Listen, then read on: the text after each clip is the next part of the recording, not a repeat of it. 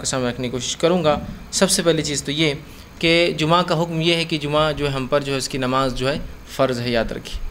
اور اسی بات کو اللہ رب العزت نے صورت الجمعہ، سورہ نمبر جو ہے باسٹھ، اس کی آیت نمبر نو میں یوں فرمایا اور کہا، یا ایوہ الذین امن اذا نودی علی الصلاۃ من یوم الجمعۃ فسعوا الى ذکر اللہ وزر البئی کہ اے وہ لوگوں جو ایمان لائے ہو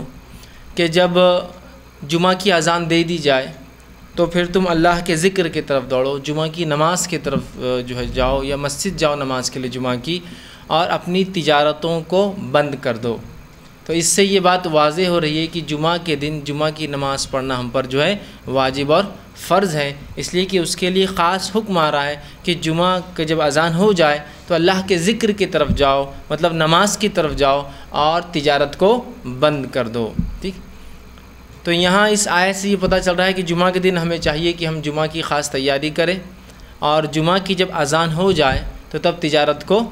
بند کر دیں اور جب جمعہ ختم ہو جائے تو اس کے بعد پھر زمین میں جو ہم جو بھی کمانا اللہ نے جو رزق دیا ہے اس کو ہم تلاش کرتے رہیں۔ لیکن جب جمعہ کی اذان ہو جائے تو یاد رکھیے تجارت کرنا یہ ہمارے لیے حرام ہے، یاد رکھیے۔ ہم کو تجارت بند کرنا ہے۔ یا دوسرے الفاظ میں، جمعہ کی نماز ہم پر فرض ہے اور اس کی اہمیت بتانے کے لیے تجارت کو بند کرنے کا حکم دیا گیا اس سے بھی پتہ چلتا ہے۔ دوسرا